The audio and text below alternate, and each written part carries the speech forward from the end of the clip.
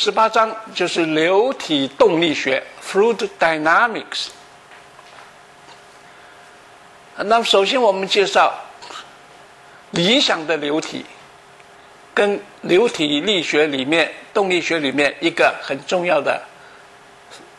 叫做连续性方程啊。啊，我们想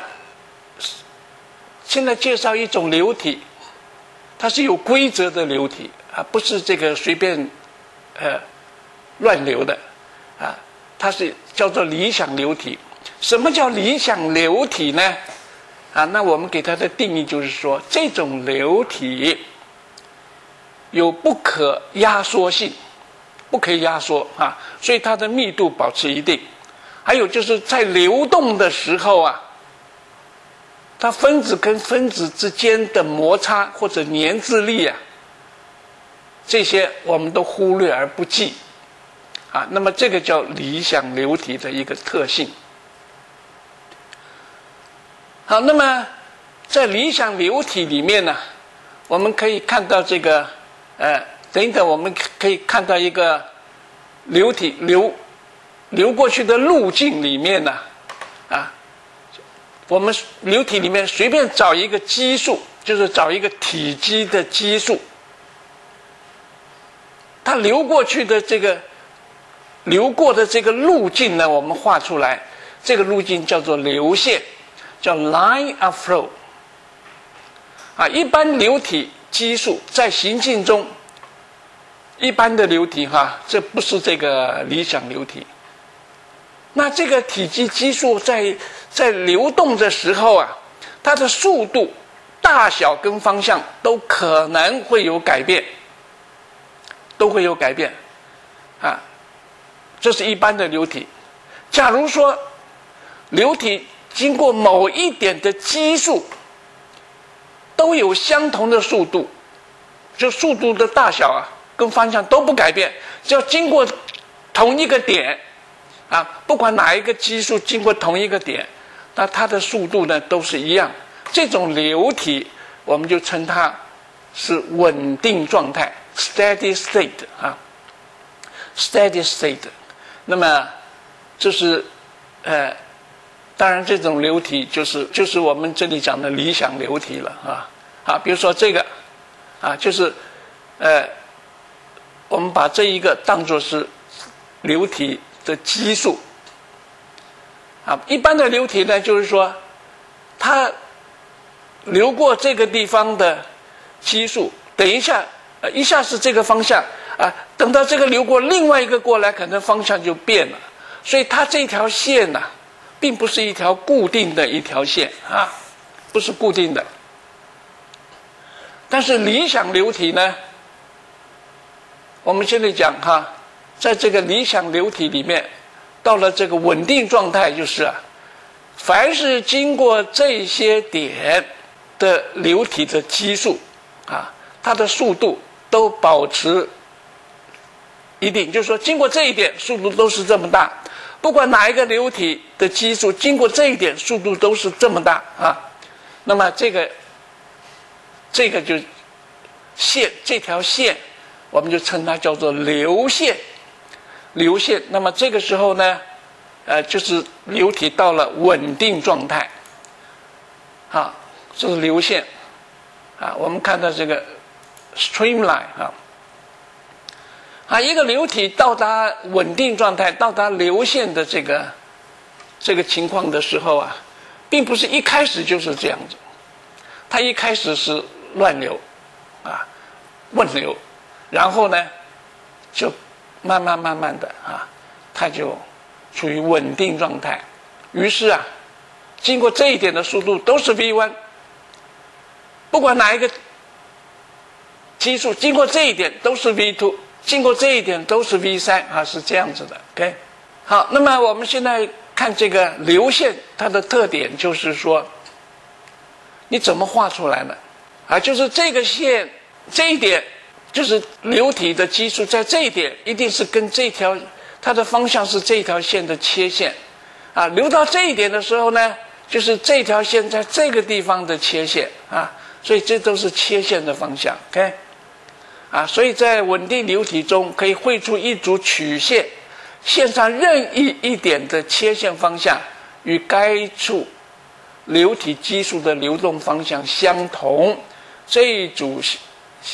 形态的线我们称它叫做流线。这个时候流体呢，我们就称它叫做流流线型流体 （streamline flow）。又称为 （lamina flow。lamina flow 就是层流啊，一层一层的啊，一层一层可以分成一层一层的啊，层流。好，流线型的具流体呢，具有以下的特性，我们这个要记住：经过某一定点的流体基数都有相同的速度啊，到这里都是 v one，到这里都是 v two。还有两条流线，任意两条流线不会相交，这个很重要哈，不可能相交，因为相交的时候啊，在交点的地方就可能有两个切线，对不对？那就是说，这个指点啊，这这个流体的基数流到这一点的时候啊，它可以是有两个方向啊，那就不对了，哎，它流动的时候只有一个方向啊。啊，这是层流啊，然后这个再过来呢，慢慢的哈，有的它就会变成这个，变成乱流啊，在层流跟乱流的当中啊，它有一个变化啊，这个就是过渡期。你看这个本来都是好像是平行的样子，对不对？到这里就乱掉了，到这里就简直是啊，在打转啊。好，这个也就是说，这个层流啊。跟阻力有关，啊，阻力有关。像这么一个平板往前面推的时候，这个空气啊，或者空气或者水流流到这个地方啊，啊，它受这个阻力很大，于是这个外面后面就是一股乱流啊。如果是这样子的一个物体呢，比这个好一点哈，比这个好一点，它在这个地方。不会像那个变动的那么大，不过后面还是有这乱流啊。那也就是说，它是百分之五十哈，啊，这机会是这个乱流。啊，如果后面做尖一点的话啊，让这个哎空气或者水流能够比较顺一点下来的话，那这个就比较小一点啊。然后到这个情况呢啊，那就是。更好了啊，不过还是有一点啊，所以这个稳流啊，跟这个物体的形状啊，就是物体在流体里面，就流体经过物体的时候，这个物体的形状呢，会影响到它周围的这个流体的情形哈。好，现在我们看，如果在这个呃 streamline 里面呢。我们画出这么一个轮廓，啊，这一条一条都是都是 streamline 哦，啊，其实没有一个容器是这样，就是我们画出这么一个轮廓，啊，这一边，那么这个轮廓就好像一个管子一样，啊，这边的面积是 a one，这边的面积呢是 a two，啊 a two，那么这个管子。我们就称它叫做 tube of flow，叫做流管，啊，流管。好，根据流线的这个定义，就两条流线不可能相交，因此啊，它这个里头的流体从这里流进去的流体啊，不可能从这个地方出来，一定全部从这个地方 A 凸出去。因为你如果能够从这里出来，这里就可以画一条线呐，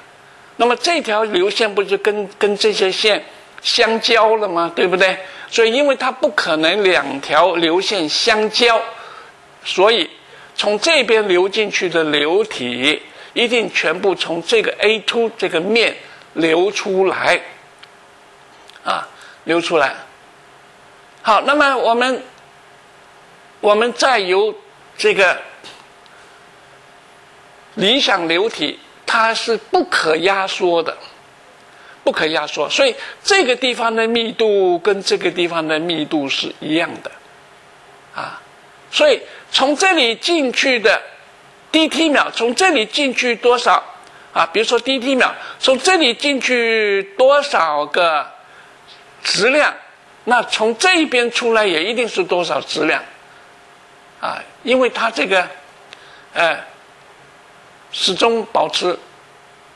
这个。始终保持一定嘛，啊，你不可能进去质量多，然后出来的少，那都存在里头，啊，那不可能哈。那所以它流进去的多少，流出来的就多少，所以我们就有 dm one 从这里流进去的，从这里流进去的，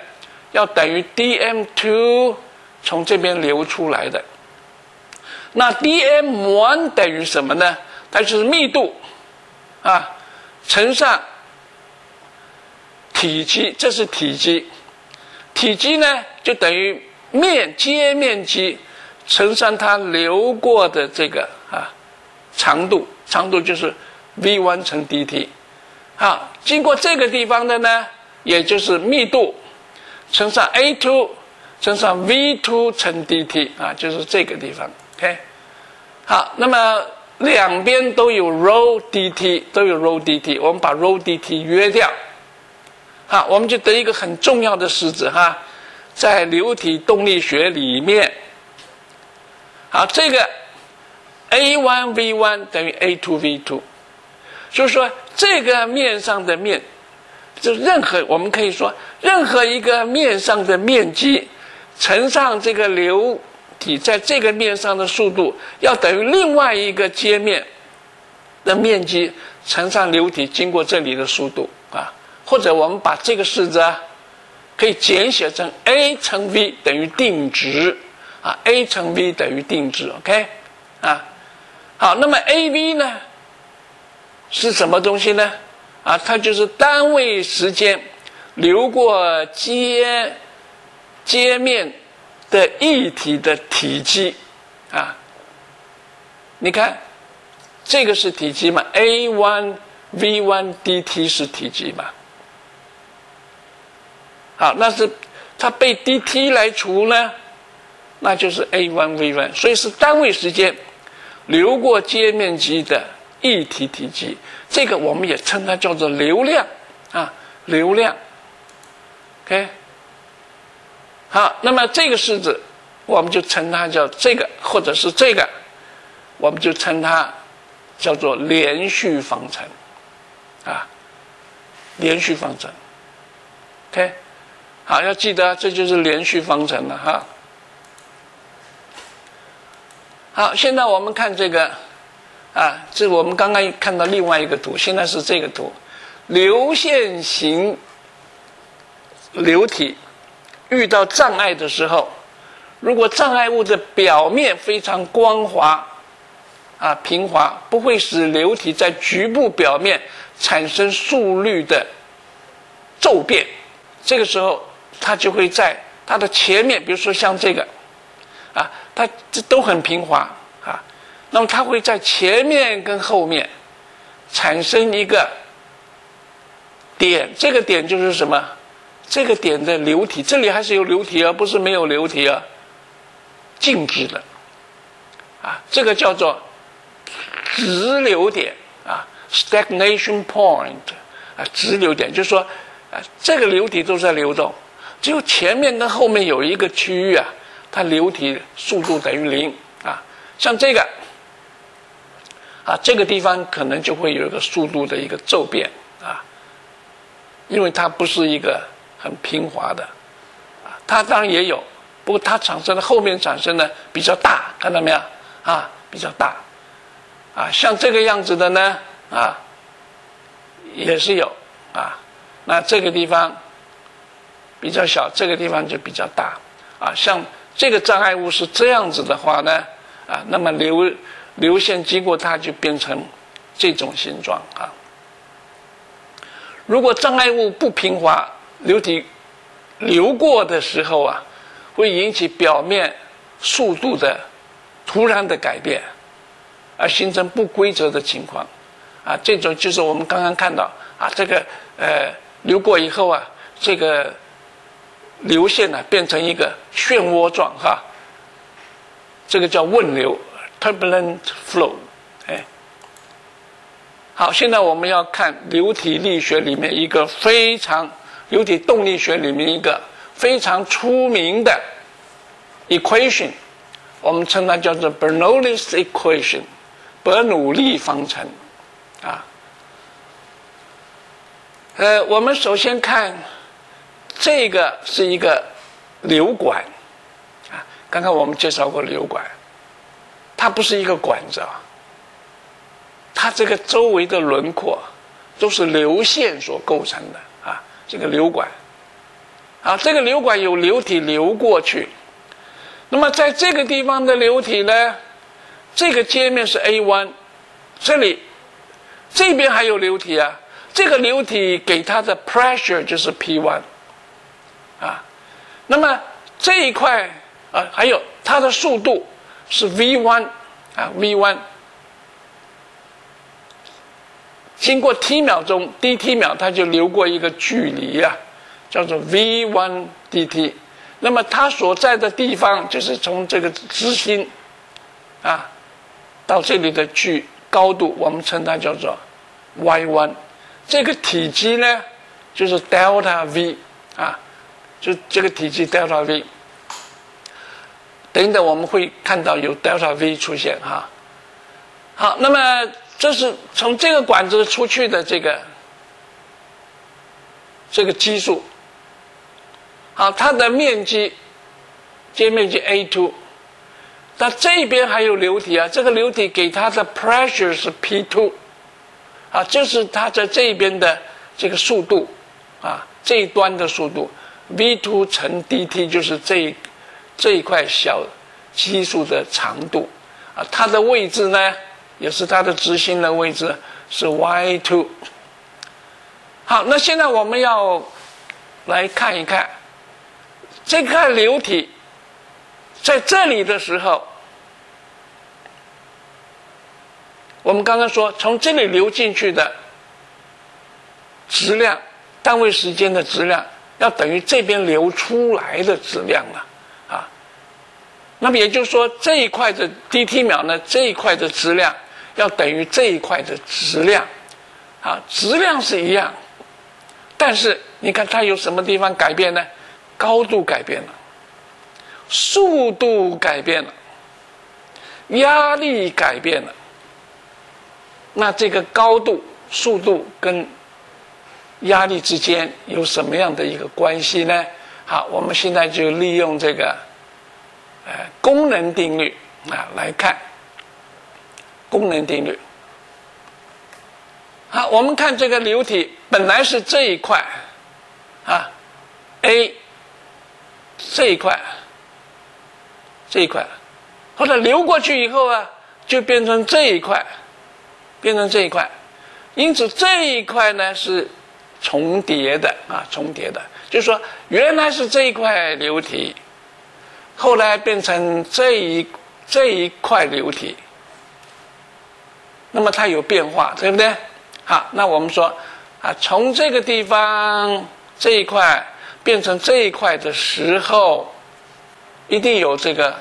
外力在做功嘛，要不然它不会。不会上去嘛？这一块不会上去嘛？所以，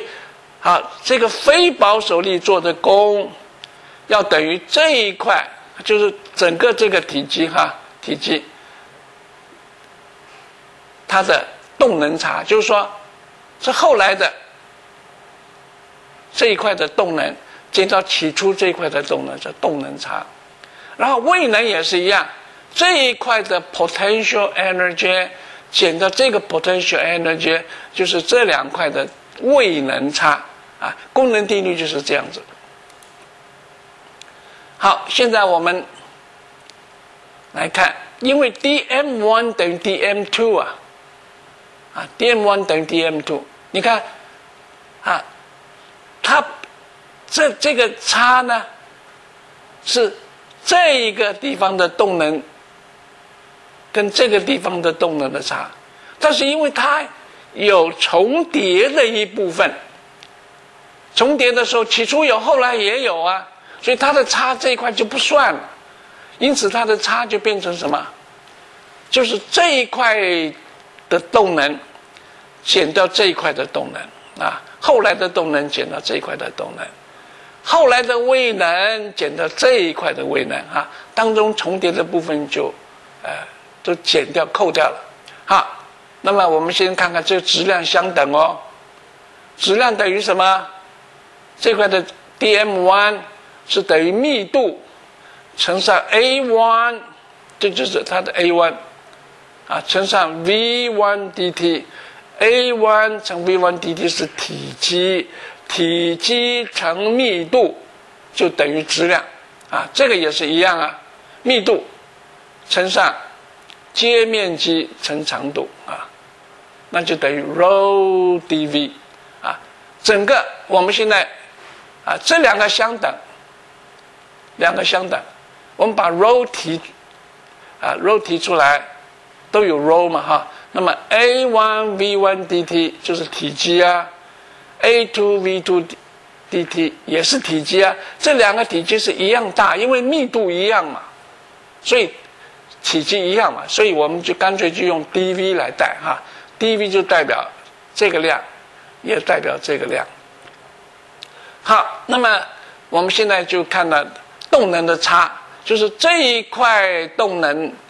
跟这一块动能的差，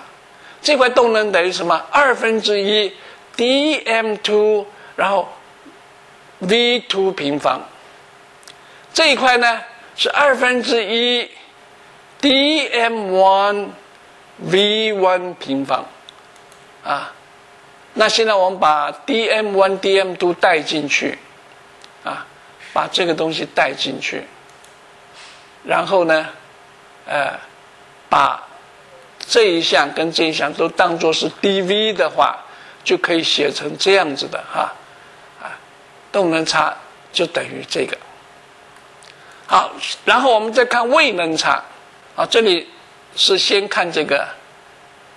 先看非保守力做的功，啊，它这块受些什么力呢？有重力，有重力，重力属于保守力啊。那另外呢，管壁跟它有摩擦力或者粘滞力，我们刚刚说过这个不算了，就忽略不计啊。所以它只有什么？这里的 pressure 挤压它的力啊，所以它的非保守力啊，啊，就是这边的力啊，这边的压力乘上面积，减掉这边的压力乘上面积。啊那我们还是一样，把这个等于 dV 带进去，它就变成这样子的啊。好，然后再看 potential energy change 啊，这一块的 potential energy 是 dm2 gy2，这一块是 dm1 gy1，然后我们也把这个。dm one dm two 等于 rho dV 带进去啊，然后可以把 g rho dV 啊 g 放在里面哈啊 dV 提出来就变成这个，然后我们把这三个是量带到这个式子里面去。啊，带到这个式子里面去，哎，我们就可以得到这样的一个式子。啊，你看这个。是 P one 减 P two 乘 dV，因为大家都有 dV 呀，啊，dV 就消掉了哈，dV 就消掉了，OK，啊，大家都有 dV 嘛，有 dV 嘛，有 dV 消掉，就是啊，P one 减 P two 等于 delta K，delta 一 K，这个消掉就变成这样，啊，这个消掉就变成这样子了。好，现在我们把。所有的下标是一的，把它挪到左边；下标是二的，就挪到右边。于是我们可以变成这个式子变成这样子了。这就是鼎鼎大名的 Bernoulli's equation。我们也可以把这个这个意思就是说，在第一点，随便你找哪一点算第一点哈。第一点的压力加上这个叫做单位体积的动能，因为动能是二分之 mv 平方啊，那 m 被体积来除就是 rho 啊哈，单位体积的动能，这个是单位体积的位能，就是任意一点。压力跟单位体积的动能跟单位体积的位能之和，任意一点之和要相等，那也就是这个要等于常数了啊。所以这个式子和这个式子，我们都称它叫做 Bernoulli's equation 哈，非常非常的重要。OK，啊，它的意思就是说，本努力本本努力方程在稳定的流体中 任意位置。啊，在任意位置，流体的压力跟动能密度，单位体积的动能就是动能密度，跟这个位能密度三者之和是一个定值啊，这本这一个定值，那这就是 Bernoulli's equation 啊，这非常非常的呃出名的一个式子啊。好，现在我们来看一个。例题，这是要利用 Bernoulli's equation。他说有一个水管从户外通到这个一个住宅里面，啊，它直径原本是两个 centimeter，水压是四乘十的五次方个 Pascal。是 par 啊，我们也就简单的叫做叫做 par。进水的速率，就是说这一块从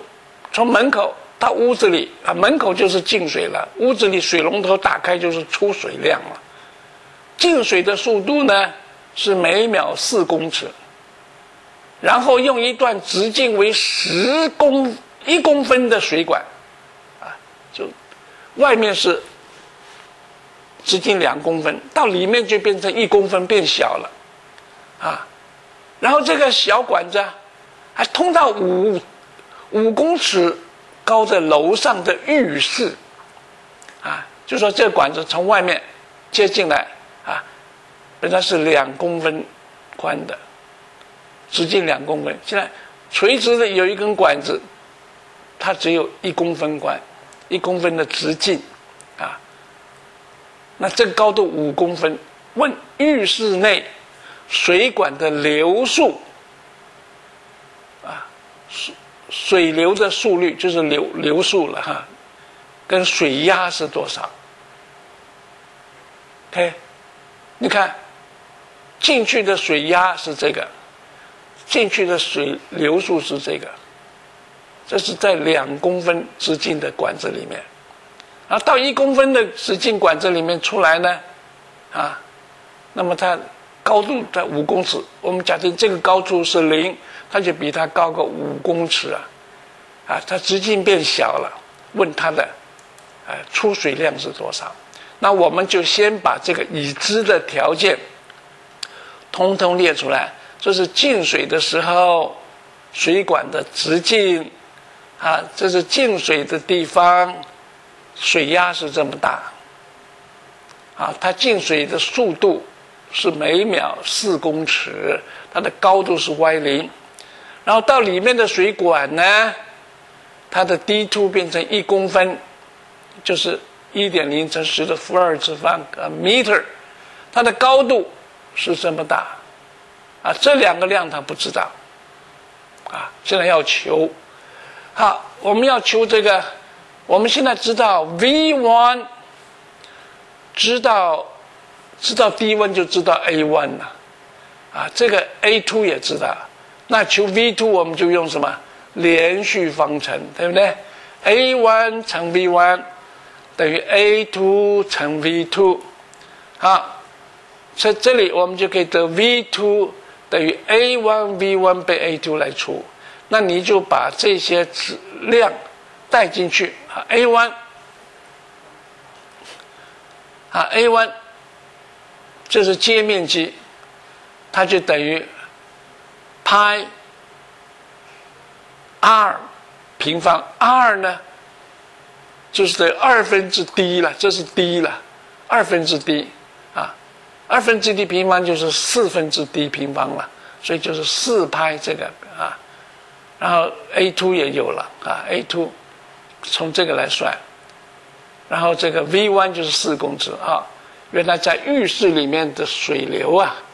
流出来的量是每秒有十六公尺。好，现在我们看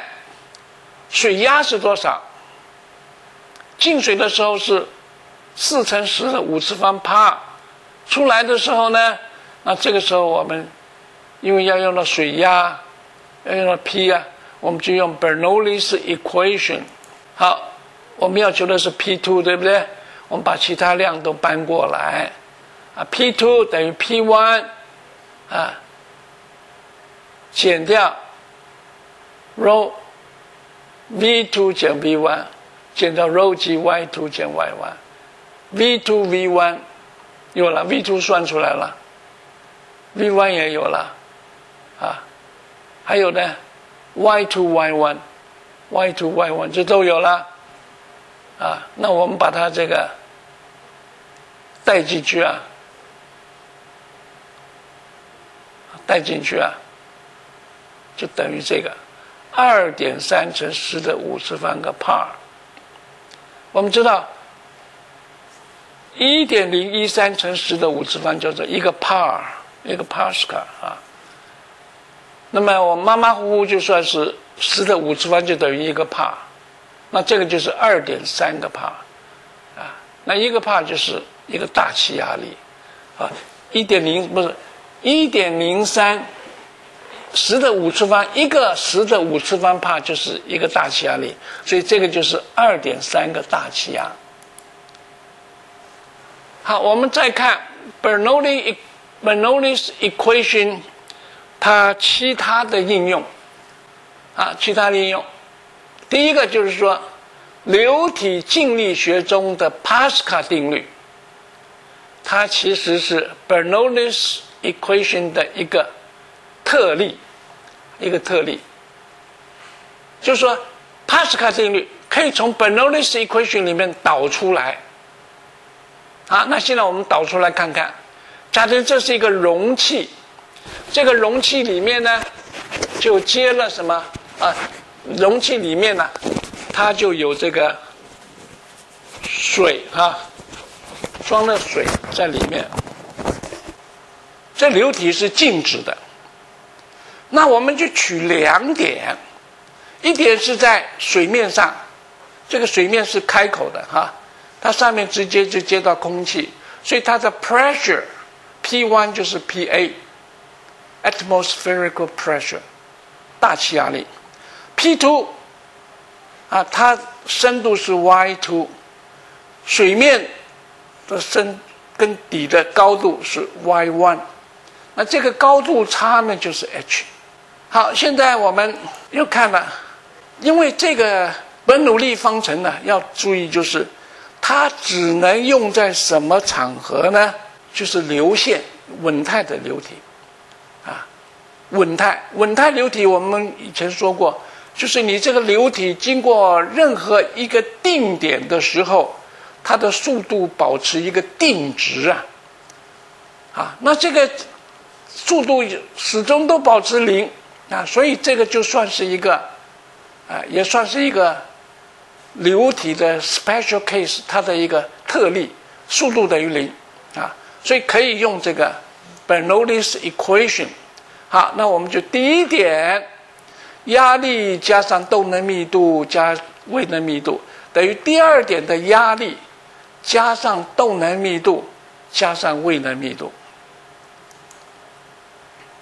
好，那现在我们知道，啊，V one 也是零，V two 也是零，因为都不动嘛，啊都不动，所以这两个都是零，都是零。OK，好，这个压力是 P A，P two 的压力呢，我们就。就令它叫做 P，就是我们要求的啊，y one 是这个，y two 这个哈，于是我们就可以得 P 等于什么呢？等于 P A 加上这个，那 y one 减 y two 就 H 了，所以它就是 P A 加上 rho G H，啊，这就是你看，这不就是 P 等于 P A 加 rho G H，这不就是 Pascal's Pascal's law 吗？对不对？所以 Pascal's law 它是 Bernoulli's equation 里头的一个 Bernoulli's equation 里头的一个特例，OK。然后我们现在再看另外一个流体力学的应用，有一种情况就是这样子的：这里有一个容器，里头装了某一种的液体，啊，某一种液体。好，我们现在在这个底边。钻一个小孔，很小哈。我这个画是画的这么大哈，其实这个呃小孔非常非常的小啊，非常非常的小。然后呢，水呢就从这个地方流出来啊，水从这个地方流出来，OK。好，这个应该是这个应该是 P 了哈，应该就是 P 点，这是 pressure 啊。代表这个地方的 pressure，好，那么我们说，这个时候啊，它流出来了。我们假定流出来的都呈流线型，就是说它都是一种稳态的一个一个一个流体的形状。那么我们就可以用 Bernoulli's equation，啊，Bernoulli's 用 Bernoulli's equation，它的基本条件就是说。你这个流体必须在稳态啊，哈，所以我们要确定它是稳态，然后再用这个式子。现在我们把 P one 等于 P，这个是 P 了啊。Y two Y one 减 Y two，Y two 就是这个了，这是高度就是 h 嘛，啊，带到这个式子里面去，啊，那我们就可以得。可以把 v two 算出来，啊，v two 算出来，OK，好，它就等于啊，等于这个值，这个重组就变成这样子了啊，这是这是 v two，OK，好，现在我们看，因为我们假设这个是一个很小很小的面积。这个比它要大的很多很多，所以它水啊下降一点点，就说这个速度很慢，可是到这里的出口速度就很大，可见的它是什么呢？啊，v two 远大于 v one，v two 远大于 v one，那么从连续性方程我们可以知道啊，这个 v one 等于 a two over a one 乘 v。那 a one 呢远大于 a two 啊，所以这个这个值啊，这是一个分数啊，很小的分数啊，啊，所以说 v one 呢，这个速度远比这个速度来的小。好，如果 v one 比 v two 小很多很多的话。那么这个地方，这个量就可以不算了，因为很大的量，很小的量跟很大的量在一起呀，那就可以忽略不计嘛，对不对？然后还有另外一种状况，就是说，如果这个容器没有盖子，这个 P 就是 P_A，啊，P one 是 P_A，P two 也是 P_A，那么这样就不是。这个不就是零了吗？对不对？啊，那么 v one 又可以忽略不计，这一项又趋于零，于是我们就得 v two 等于根号二 g h。那就是说，从这个地方流出来的流体，它的速度是二 g h。这个我们称它叫做啊，speed of efflux。叫做外排速度，啊，外排速度很有意思的就是说，这个外排速度，这个速度等于什么呢？这个速度其实就是，这个水分子，当它做自由落体下降一个 y 公尺高的时候，速度正好是这么大，啊，速度正好这么大，OK，啊，有这种啊巧合在里面。好，那么其实啊，这个式子不见得要你这个呃孔要开在底下，你开在旁边也是一样，只要这个口跟水面的距离是 h 的话呢，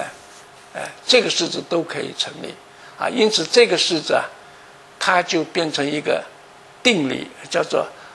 啊，Torricelli's theorem，啊，托里切利定律，啊，定理，OK，啊，这就是脱离去。你看我们这里这个大水桶有水，然后我们开了好多个孔，啊，好多个孔，那好多孔里头排出来的速度，啊，这个速度。跟这个速度都满足这个关系，当然这个高度跟这个 h 跟这个不一样了啊，OK，所以它不限于这个桶底的一个洞，桶边的洞也算。好，另外我们再来看，假如啊，这个密闭容器，这是个我们刚刚讲的是开口啊，假如它不是。开口是密闭的，而这个里头的 pressure 很大啊，pressure 这个是这个是 P 了哈，不是 rho，pressure 很大。好，那么这个时候呢，啊，我们把它带到刚刚那个式子里面去啊。刚刚我们是说 v1 等于零，然后 P 是等于 PA，所以这也等于零，所以 v2 等于根号二 GH。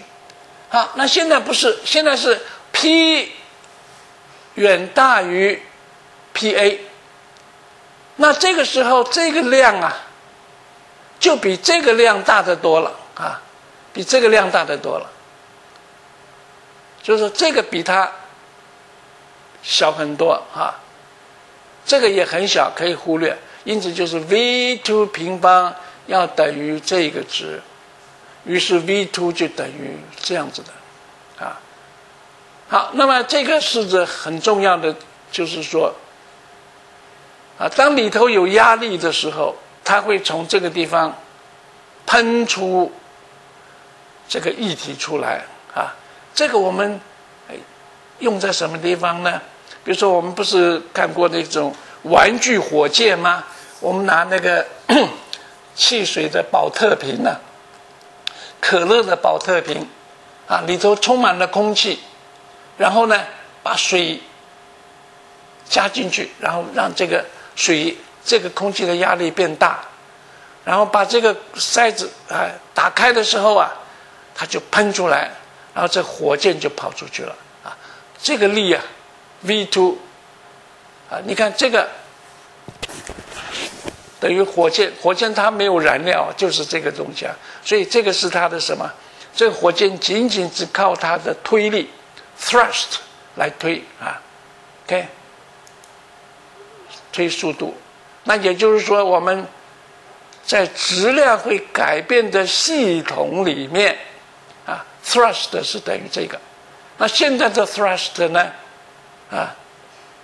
相对速度就是 v two 啊